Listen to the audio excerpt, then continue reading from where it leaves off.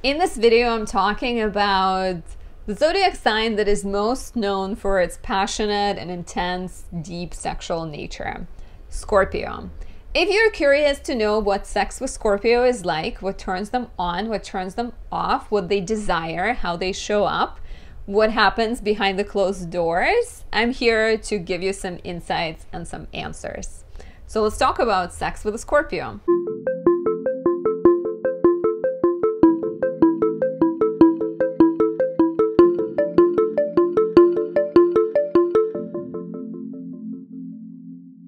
My name is Anastasia. I'm a traditional Western astrologer doing readings that are primarily natal. So if you have any questions about your chart, about your life purpose, your career, etc., or if you have any predictive questions, you want to know what's ahead for you.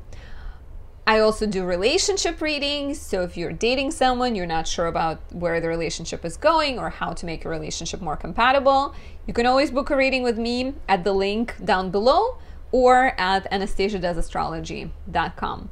If you're new to my channel, please subscribe, leave me a like or a comment. I appreciate that and it really helps my channel grow. It encourages YouTube to move my content to the front of the line and encourages more people to see and appreciate my work. And I hope if you like me and you like my channel, you're happy to help with that as well. Before we dive in and talk about Scorpio, I wanted to let you know that I create planetary magic candles and oils, and I highly recommend getting Venus Cazimi for those in relationships and Venus in Libra for those trying to manifest love. If you have your Venus or your ascendant in an air or fire signs. And similarly, Moonlit Trinity is perfect for love, fertility, romance, and manifesting for those with earth and water ascendant or Venus sign. You can find them on my website as well. I would also recommend you listen for your Venus or your Mars because those are two planets most intimately connected to love. And then you can also listen to your Sun, Moon, and right or Rising and compare. And if you don't know those, check out the link down below to get to a calculator and find out. Everything will be modified by the rest of your placements. We're just talking about, you know, Mars or Venus or one single placement in your chart if you only have one planet in Scorpio. And you really need to look at a chart as a living organism with multiple parts interacting together. So, the best way to understand how this plays out in your life is to book a reading with a professional astrologer. So Scorpio is a sign that rules Mars, and it's um, actually Mars the opposite. Mars rules Scorpio. Signs don't rule planets. Planets rule signs. So Scorpio is ruled by Mars, and it's a sign where Mars, the planet of sexuality, feels really comfortable in. Besides that, Scorpio also rules the genitals, right? So there is natural alignment of sexuality and Scorpio. It's a water sign, so it's very emotional and intense and deep and sensitive on a, in a lot of ways. It may not show it to you, right? Like it may have this this reserved exterior. Scorpio, Mars, or people with strong Scorpio placements a lot of times are like ninjas. They will they will have a very busy or very interesting, very kind of intense sexual life, but you're likely to never know. You may just see the outside they show you that might be very different depending on their rising sign or depending on their sun sign, right? Um, it's a fixed sign, so the passions run very deep and they can be very loyal, they can be very stable in their relationships. And it's a yin sign, it's a feminine sign ruled by Mars, like I said. So very strong sex drive, very like long lasting. They have high stamina. They can make love to you all night, um, different parts of your body because it's the sign that rules genitals. Lots of oral. Oral both turns them on, and they're also very generous at giving it to you.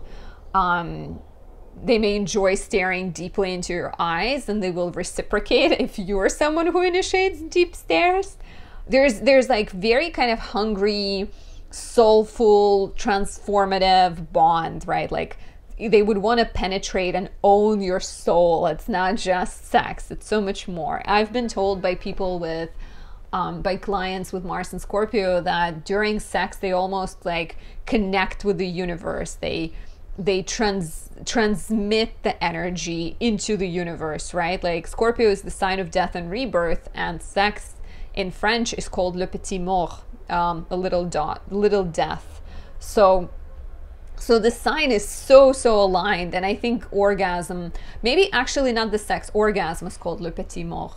Um, so through through having an orgasm they connect to that intensity that the sign is so known for so kind of you know has the strong reputation. So very lusty very passionate very intense very private about their life. So they wouldn't enjoy you kind of sharing things with others potentially um, Scorpio always has a bit of an obsessive quality, or, you know, they grapple with the question of control and power. So they might secretly want to control you or possess you, but at the same time give them too much and they might kind of.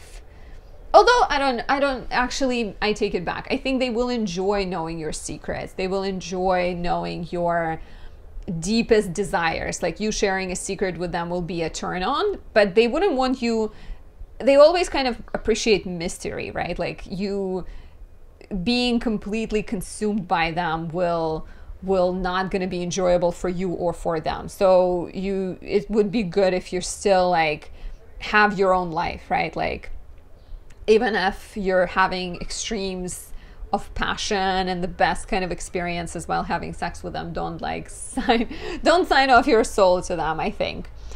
Um unless that's what you're looking for.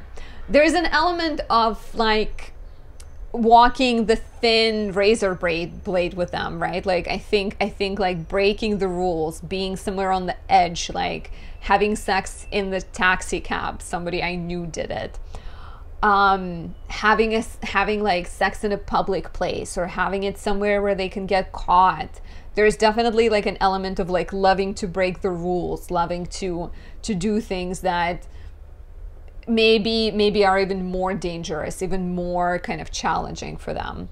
They can be quite open-minded quite open to trying different things and like those those topics of control and domination can be flip flipping once in a while right? Like i think they will definitely show it like they can be very it's a very physical sign, right? So they can hold your hands back during sex or they will like tie you up. They will like use handcuffs, like anything like that. But they may also enjoy you doing it to them, even if they don't openly ask for it. You know, having open conversations, discussing it could be like very helpful, I think.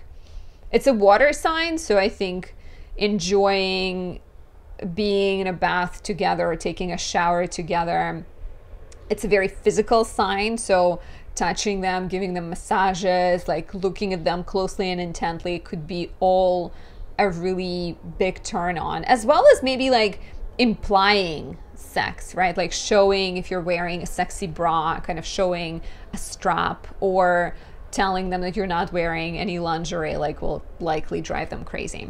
If you have this placement, let me know if you resonate. Let me know if there is something I'm forgetting and you would like to add in the comments below. And I hope you enjoyed it. I'll talk to you soon. Bye.